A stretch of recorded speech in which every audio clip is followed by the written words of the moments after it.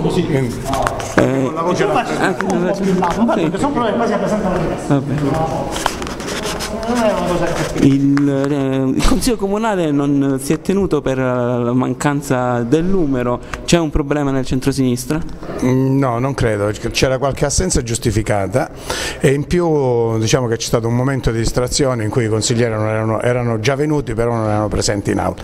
Comunque non è un problema politico, è stato più che altro un fatto organizzativo secondo me. E il fatto ad esempio che, Za- il fatto, ad esempio, che Zaffina era presente però è uscito dall'aula e Zaffina sta aspettando una nomina ufficiale, è ancora ufficiosa ma non è definitiva ad assessore, non è un segnale, No. nessun segnale. No, assolutamente, è stato nominato dal, dal gruppo, quindi dico più sicuro di così. No, obiettivamente proprio, no, veramente è questo. Proviamo, proviamo a buttarla così, la giacca di Speranza a quanti lati è tirata? Solo dal PD o anche dal progetto della Mezzi? No, il progetto Lamezia ha le, ha le sue appartenenze e le sue disponibilità da dare al sindaco, già stabilite, quindi non c'è, non c'è nessun problema. Battipecco finale tra Crapis e Aiello è norma No, l'amministrazione. Crapsi e Aiello sono, eh, Separati dei- casa, se- sono dei discorsi personali fra di loro che nulla hanno a che vedere con, con la maggioranza consigliare, assolutamente, no, quello no, obiettivamente.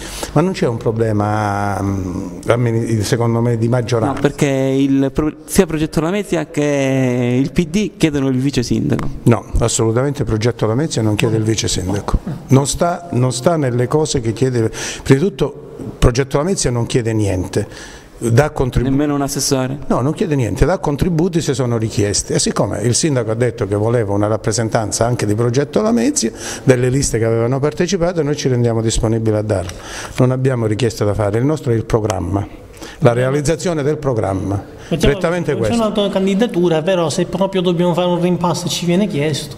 Noi, noi, noi non abbiamo i candidati da dare. Quello sto dicendo. Sì, sì, ce li abbiamo. i Ah, candidati. avete già i nomi? Sì, sì, sì.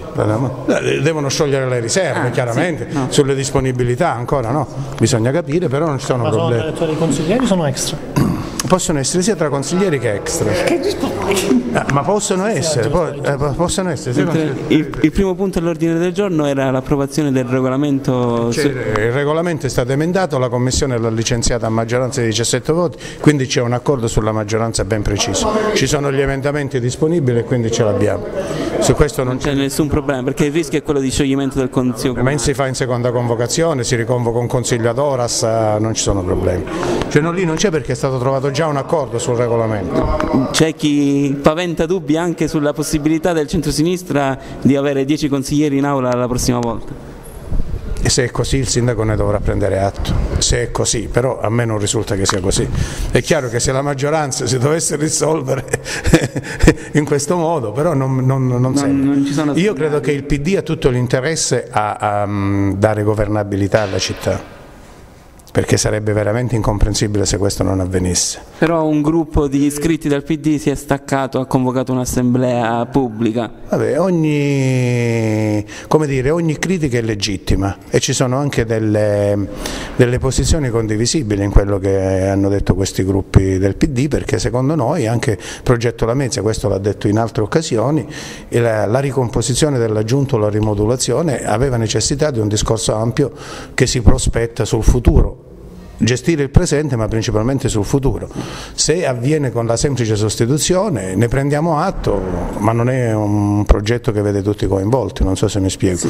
Io Z- Zaffina e Liotta sono un occhio guardante al passato più che al futuro. No, no, no, no, no, no, no, no, no. Retrovisore? No, no, no, Ho sono- tradotto in termini palesi, ma No, no, sono due persone che hanno già fatto parte della Giunta Speranza, l'hanno, l'hanno fatto bene, insomma sono- non, ho, non ho un motivo di esprimere e non so quanti possono essere il futuro, quanto possono essere il passato, se guardiamo al futuro dobbiamo guardare ad altre novità, però questo non si poneva un problema tra futuro e passato in questa rimodulazione della Giunta, è più il progetto che ci deve interessare che, che un fatto collettivo che non è basato sui nomi singoli chiaramente. Io la butto lì, eh. nel senso che il PD quando aveva fatto la richiesta a speranza però c'erano tre punti, giunta, eh, macchina amministrativa e multiservizi, gli sta parlando solo del primo, gli altri due secondo te cambia, cambierà qualcosa? No, no, no, no, assolutamente. E secondo me la multiservizi eh, chiaramente è una discussione molto più ampia che non è un fatto esclusivamente di nomi, ma eh, riguarda quello che sarà eh, il piano industriale che verrà sottoposto oh, prima di tutto alla multiservizi e poi all'amministrazione perché qui parliamo di una certa criticità nella gestione di questa nostra partecipata e quindi qui dobbiamo capire bene, non, è, non può essere uno che ha la bacchetta magica e risolve il problema sulla, sulla multiservizi.